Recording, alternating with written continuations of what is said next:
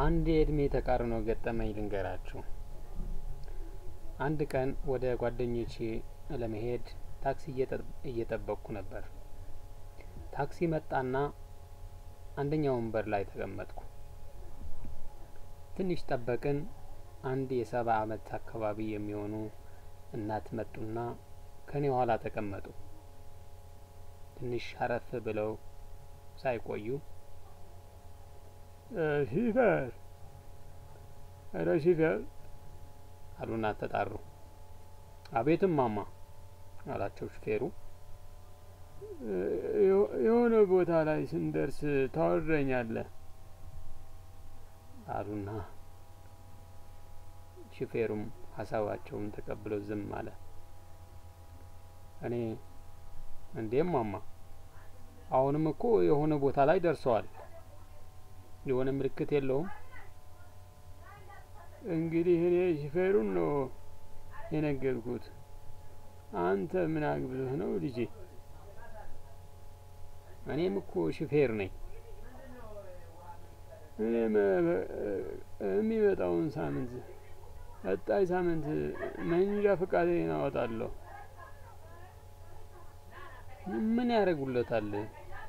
መንጃ ፈቃድ በዚህ እድሜ ኧረ አይጠቅመውትም። አንተ ምን ሲያደርግልህ አየውና ይኸው እንዳንተው ይዤው ቁጭ እላለዋ።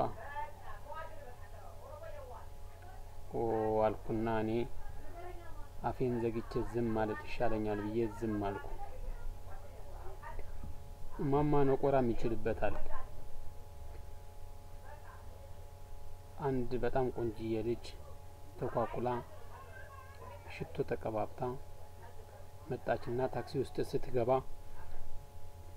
እንዳለ ሽቶውን ውድ አደረገችው። እማማ ልጅቷን ሽቶ ካሸተቱ በኋላ እንዴ እንዴ ምን ይልክ አስክሬን መውጫ በር ደረስን እንዴ አሉና ጠየቁት። ልጁ እንዴ ማማ ሊገነዙ ነው እንዴ የሚሄዱት አለና ጠየቃቸው። ለካ በኋላ ሳጣራው ልጅቷ የሹፌሩ ፍቅረኛ ነበረች። ዝም ብለው ጠበቁና አሁንም ከልጅቷ አልወረዱ። ልጅቷም የለበሰችውን ሚኒ ልብስ አስር ጊዜ ትጎትተዋለች ትጎትተዋለች፣ አይደርስም፣ ትጎትተዋለች፣ አይደርስም። ተፋዋን ለማልበስ ትከራከራለች።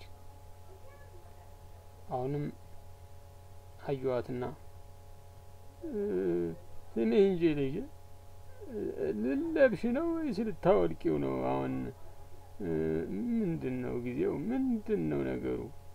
ብለው ጨርሰው ሳያወሩ ሹፌር እማማ የሆነ ቦታ ላይ ደርሰዋል፣ ይውረዱ አወረዳቸውና ተገላገል